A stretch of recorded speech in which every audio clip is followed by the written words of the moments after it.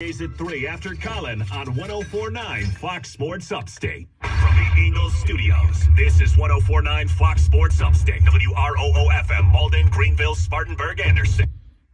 we are Fox Sports. And here's what you need to know. In Major League Baseball, the Marlins walked it off at home.